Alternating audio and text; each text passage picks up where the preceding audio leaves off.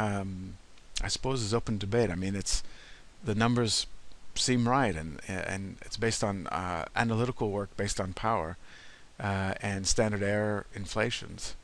Now, some people might uh, feel like, is there any point in doing multiple regression in practice? I'm never going to get a thousand people in my sample. And I just want to address that issue in this last slide, is that um, in practice it's impossible to get those sample sizes realistically. So I see a lot of studies where the n is about 25. Is it completely pointless for people to do multiple regression analyses with a sample size of 25? On its own, probably. Uh, maybe it's an educational experience, uh, but it's probably not going to contribute much to the literature and, and provide any convincing uh, results. But that's not arguably the whole story.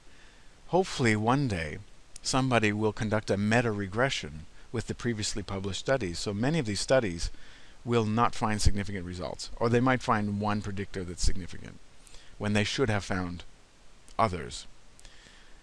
So long as they publish the correlation matrix associated with their independent variables and their dependent variable, one day somebody could come along and combine these studies, which all have low power, and combine them into one study, and that's called a meta-regression. You can combine correlation coefficients together across sample sizes and studies which have used either identical or very similar measures, and you can do a meta-regression.